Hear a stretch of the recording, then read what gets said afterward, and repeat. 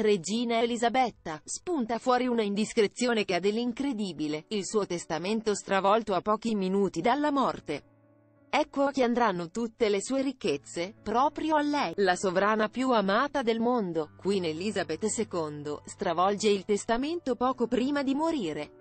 La regina ha lasciato tutto nelle sue mani. Regina Elisabetta, il testamento della disco. Sono passati più di dieci giorni da quando la regina Elisabetta è espirata. A 96 anni, la sovrana più famosa del mondo, si è spenta nel suo castello in Scozia, a Balmoral che per tanti anni è stato il suo luogo prediletto, quello in cui ha trascorso gli anni più belli della sua vita e del suo matrimonio. La sua scomparsa ha lasciato un vuoto nel cuore di tanti dei sudditi, di tutto il mondo, non soltanto di quelli inglesi e chiaramente della sua famiglia e in particolare dei nipoti Harry William che con lei sono cresciuti. La monarca inglese, definita più volte una delle donne più ricche del mondo, ha un patrimonio immenso. La sua eredità vale miliardi e miliardi di sterline. A chi andrà ora il suo patrimonio? E i suoi gioielli? Spunta un'indiscrezione clamorosa, il suo testamento modificato pochi minuti prima della morte.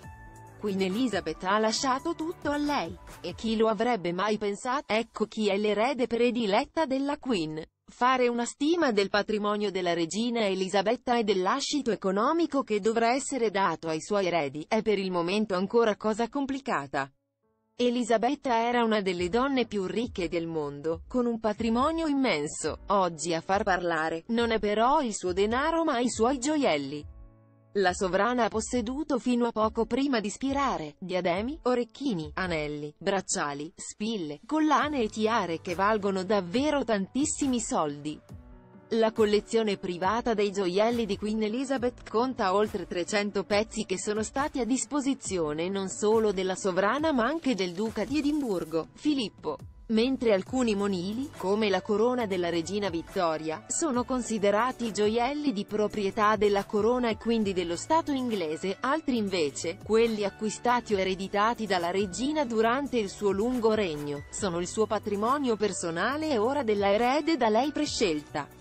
Secondo quanto dichiarato da Lisa Levinson che è a capo del Dipartimento delle Comunicazioni del Natural Diamond Council, la regina verrà seppellita col suo anello nuziale, una fede in oro gallese e con gli orecchini di perle che indossava sempre, gli stessi che ha messo su anche quando ha incontrato, due giorni prima di morire, il nuovo primo ministro inglese, Liz Truss, in Scozia. L'anello di fidanzamento regalatole invece dal principe Filippo e che è stato realizzato realizzato con dei diamanti presi dalla corona di Alice di Battenberg, mamma del duca e che contiene anche una incisione che fu fatta fare appositamente dal principe per la sovrana, sarà ereditato da Anna, la figlia della principessa, così come anche tutti gli altri gioielli che Filippo ha regalato alla regina. Sarebbe dunque lei la prescelta dalla sovrana per ereditare il patrimonio immenso di gioielli detenuti fino ad ora dalla monarca tutti i gioielli della regina, patrimonio inestimabile. Non è però l'unica Anna a godere della ricca eredità della regina.